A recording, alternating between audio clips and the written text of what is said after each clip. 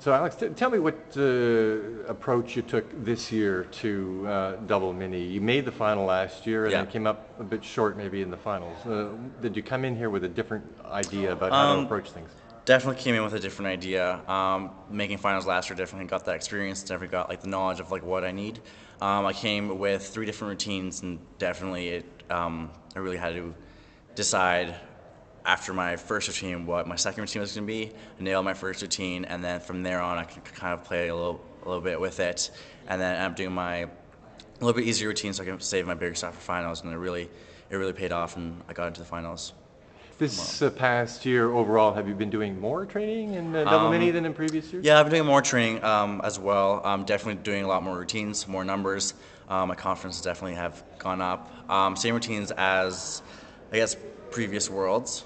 Um, just kind of little tweaks here and there, but definitely a lot more routines. Feel a lot more confident,